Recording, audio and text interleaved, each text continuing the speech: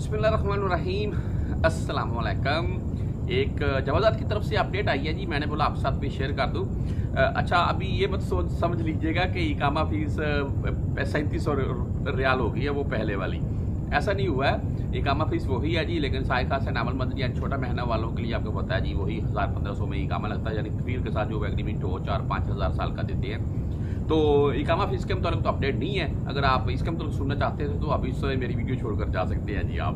बहरहाल इन्फॉर्मेशन ये है जी कि आपके पास पासपोर्ट है। आप पासपोर्ट के ऊपर आपको दो साल हो गए आप घूम रहे हैं। ये पासपोर्ट के आपको, आपके पासपोर्ट के ऊपर आपको छः माह हो गए हैं। पासपोर्ट के ऊपर आपको तीन माह से यानी कि तीन माह से आप ऊपर जा चुके हैं, यानी कि नब्बे दिन का आपको पता है वीज़ा होता है। और एक खुद से दोस्त को जानता हूँ, इसी चैनल के ऊपर वीडियो पड़ी हुई है। आज से तकरीबन दो साल पुरानी है जी। आप देख सकते हैं जाकर, मदीना अल मुनवरा में मेरा खुद का ही काम एक्सपायर था, साथ में एक भाई था, दो दोस्त थे, एक ही गाँव के।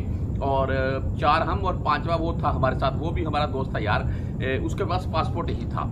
तो हमारे चारों के ही काम एक्सपायर थे और उसका पासपोर्ट ही था बस।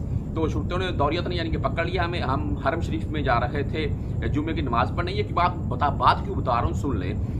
हमको पकड़ लिया, दो से ढाई घंटे के बाद हमें छोड़ दिया, पाँच पाँच पाँच सौ रियाल का फाइन करके। ठीक है जी, पासपोर्ट वाले बंदे को भी छोड़ दिया, उसको भी यही बोला कि अपने कफील को मिलो और उसको बोलो, मेरा एक काम बना दे।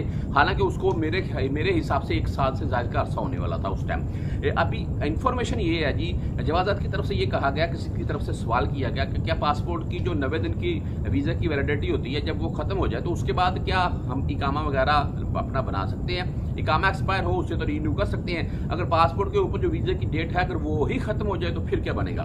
तो जवादात की तरफ़ से यही कहना था कि सिंपल वही तरीका है जी। अगर आपका नब्बे दिन का पासपोर्ट है, अगर वो एक्सपायर हो जाता है, यानी कि आपको 120 दिन हो गए, सौ दिन हो गए छः माह हो गए तो आपके ऊपर पाँच सौ रियाल का फाइन है जी।